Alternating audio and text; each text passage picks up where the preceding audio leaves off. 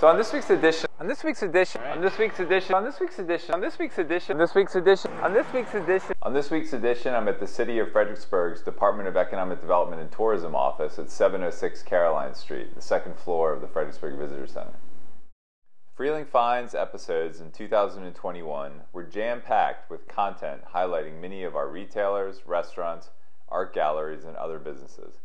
We've also kept you updated on major construction projects on Interstate 95, as well as the reopening of the Chatham Bridge. And of course, we covered the fabulous opening season for the Fredericksburg Nationals, as well as the partial opening of our new Riverfront Park. Summer is an exciting time in Fredericksburg, and this year was no exception. We visited with the Fredericksburg Parks Recreation and Events Department several times to show you summer events and camps, the Earth Day celebration, the reopening of the Buffett Pool in Dixon Park, and of course the opening of Riverfront Park.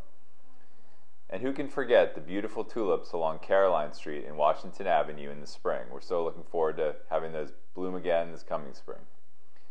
Fredericksburg has a tremendous amount of community spirit, which we featured in videos about Gwyneth's Gift, Greater Fredericksburg Habitat for Humanity, and the Fredericksburg Bookmobile.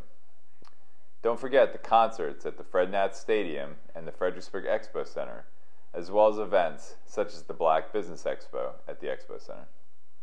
Some of our most watched videos this year featured local restaurants, including Casey's, Cork and Table, Rey Azteca, Haley's Honey Meadery, The Alpine Chef, and Rebellion FXBG. And we didn't forget to feature dessert either, as we highlighted Crumbl Cookies, Kickshaw's gluten-free bakery, and Blue Cow ice cream. We also showed you the creative side of Fredericksburg by visiting the workshop, where you can build things from wood, the plein air artists,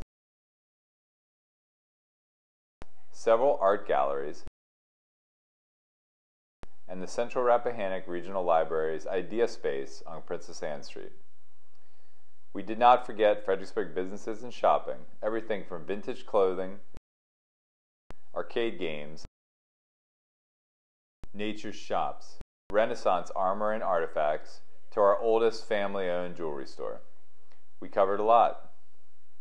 Fredericksburg was a great place to be in 2021, and we cannot wait to show you what's in store for Fredericksburg in 2022.